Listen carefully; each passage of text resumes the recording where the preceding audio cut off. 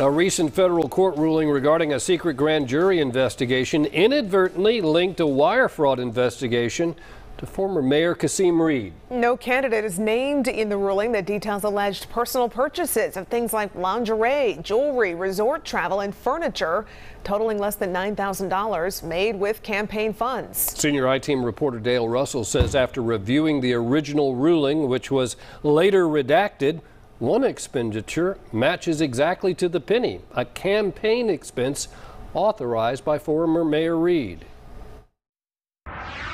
We reduced crime by 33%, and we did it in a way that was consistent with our values. In a recent interview with Fox 5, former Atlanta Mayor Kasim Reed touted his success with battling crime in Atlanta. What we didn't know then was the new mayoral candidate is seemingly under FBI investigation for old campaign donations. The allegations surfaced in this ruling about a secret investigation of possible wire fraud in a political campaign. That campaign lawyer was fighting to keep from testifying before a grand jury. But an 11th Circuit Court of Appeals three judge panel ruled he would have to testify.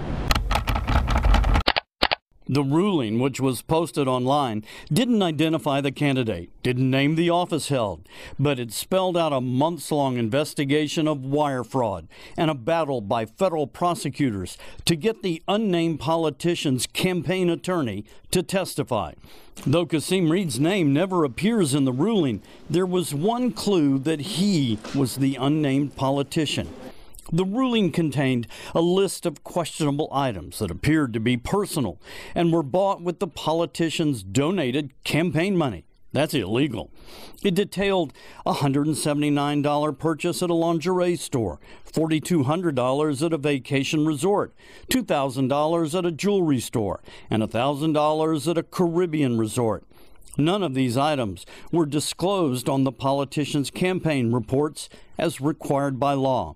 But one item was disclosed on a campaign report a $1,234.47 purchase of furniture from an online retailer, which was shipped directly to the candidate's mother.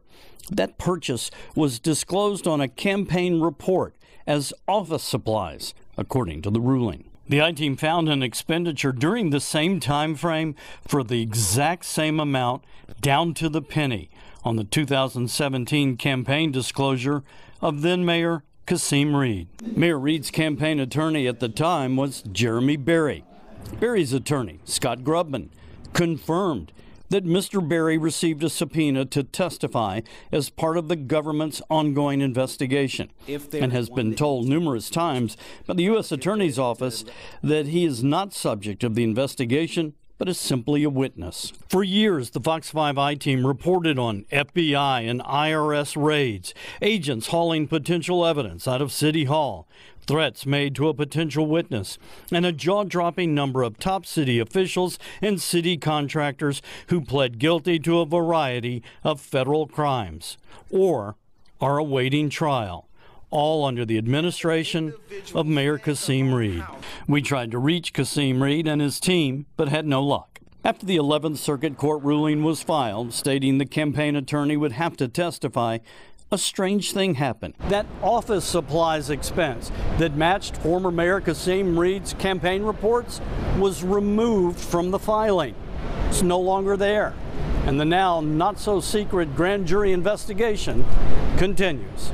From downtown Atlanta, Dale Russell, Fox 5 News.